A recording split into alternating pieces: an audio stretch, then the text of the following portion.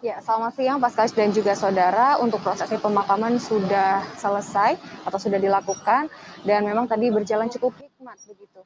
Nah, kalau dari uh, proses pemakaman sendiri memang tadi pada pukul 9 waktu Indonesia Barat jenazah dari Vanessa Angel dan juga suami Febri Ardiansyah ini tiba di Taman Makam uh, Islam Malaka Jakarta Selatan dan dimakamkan di satu liang lahat dan luas liang lahat tersebut kira-kira ada dua kali dua meter begitu dan dimakamkan atau diletakkan jenazahnya ini secara bergantian.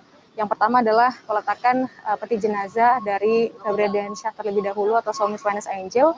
Lalu setelah itu adalah peletakan dari uh, jenazah Vanessa Angel sendiri di sebelah atau bersebelahan seperti itu. Setelah itu proses pemakaman dilakukan dan memang diiringi dari isak tangis keluarga dan juga kerabat yang datang mengiringi prosesi pemakaman dari uh, Vanessa Angel dan juga Febri Ardiansyah.